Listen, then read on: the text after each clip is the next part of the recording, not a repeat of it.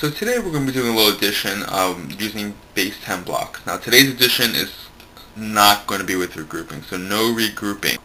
So I have a couple of things out. I have my base 10 blocks, my flats, my rods, my units. Um, I have uh, a ruler.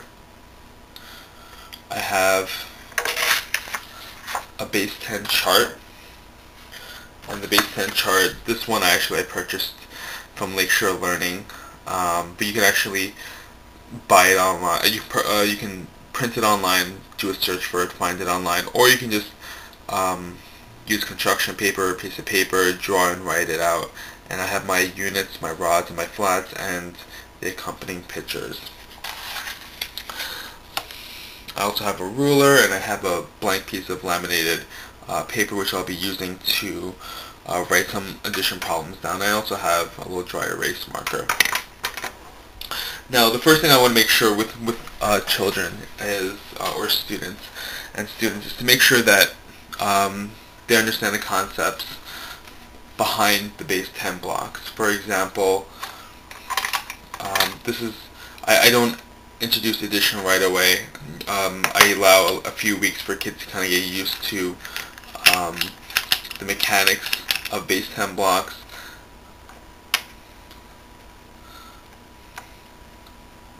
and, and give them time, enough time to explore. So at this point, you know, um, kids should should uh, be able to recognize this because they've had time to explore. They've ha they've had other other experiences with base 10 blocks, and they'll look at this and they'll say, well, this is two rods and three units. This number is the number 23. Or if I were to add a flat in there, they would be able to to tell me that it, this is one flat, again this is two rods, and three units. This number is 123.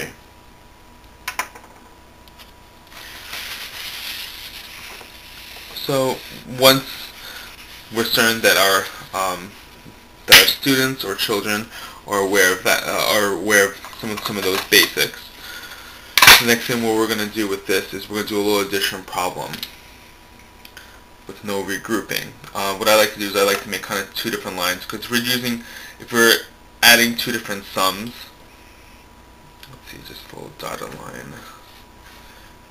One will separate between the two sums. So one of the sums will go here, and one of the sums will go here. Actually, this is going to be our summation line. So we're going to introduce a problem for our students. We are going to say, we'll start something small. We're going to do something something as simple as 3 plus 2 equals. Um, Put this back up here. So, um, what, we'll model to children is the first thing I'm going to do is for the number 3, that's our first number, we're going to put it on top. That's our number 3. I'm going to write the number 3. And then our second number is the number 2. We're going to take 2 units. Number 2. And now what we're going to do is we're going to add these together. And how we add this together is we take all the units from the bottom or um, whatever we're adding from the bottom we bring it to the top. So we have 3 on top. And we're going to bring everything from the bottom to the top. So 4, 5. What we'll do is we'll erase this over here. We already know that, that that's not the, the number. And we'll put 5 down here. So 3 plus 2 equals 5.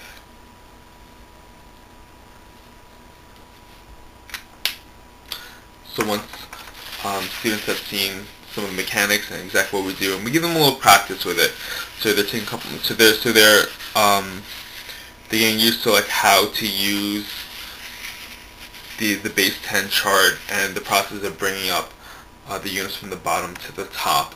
And they know that they're going to bring up the units and count. So 4, 5 or if it's um, 5, 5 plus 3 what we'll have them do is we'll, we'll have them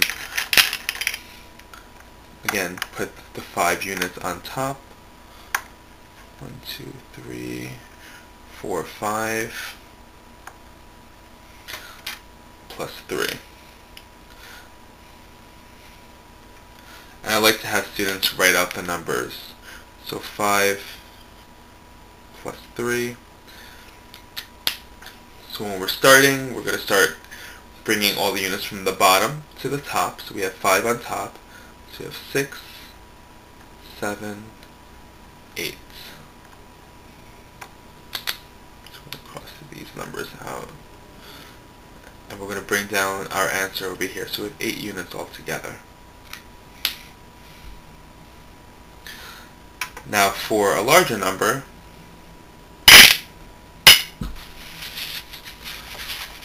we'll do the same thing as we did with the units.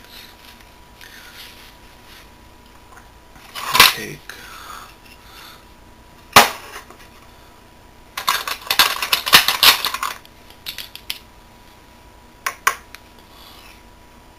You can actually also make your base 10 chart a little bigger.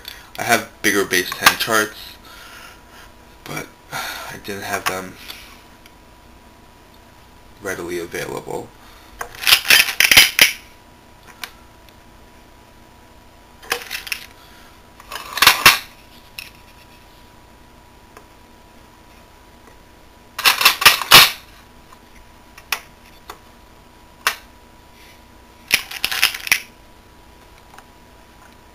So now what we have is we have two different numbers here. And the first thing I like to have um, my kids do is write out each of the numbers.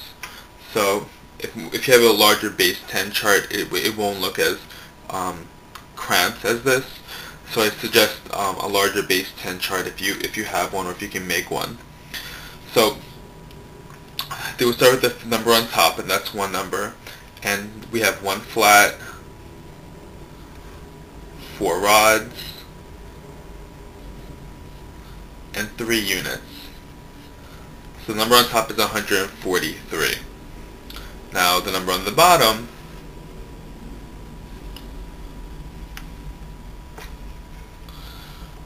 is, I'll actually do it on the side to have some room, is one flat, two rods, and 2 units. So 122. So what we're going to do is, um, just as we did before, and again, we're always starting from the ones column. So that's another thing you want to introduce to students, that when we do addition, we always start the uh, at the units column, and we go to the next. Then we finish the rods and go to the next, which is the flats. But we always start in the units column. So again, starting with our with our basic rule, we're going to um, add from the units column, starting from the bottom. So we have 3 on top, we have 2 on the bottom. So 3 plus 2, 4, 5. Put 5 down here.